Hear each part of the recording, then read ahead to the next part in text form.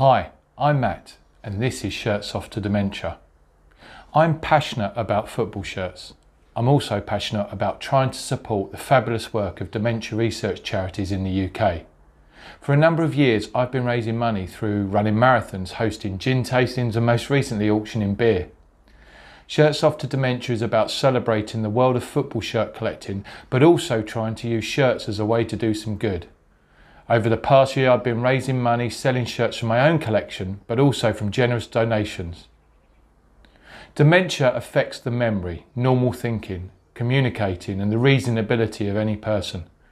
These symptoms make it difficult to perform even daily tasks such as bathing and eating.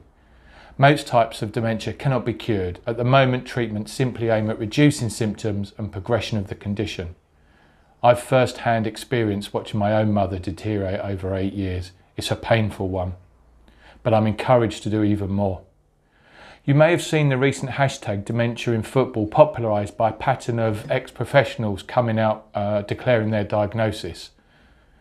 In light of these diagnoses, several former football stars joined Head for Change, a group that is demanding that authorities act and initiate on research focused on maintaining and protecting the brain health of retired players. 60 former players have thrown their support in, including the likes of Gary Lineker and Brian Dean. Many argue that football authorities should have taken stronger and more sustained interest in the issue of cognitive impairment after a study published in 2019. In it, it concluded professional footballers are three and a half times more likely to die of dementia than their peers. Well, research suggests that repeating head of the ball can actually cause brain injuries. Although there are lots of risk factors relating to dementia, it's impossible to ignore this correlation. This channel will showcase some amazing shirts from our collection and also recognise the generosity of those supporting our efforts.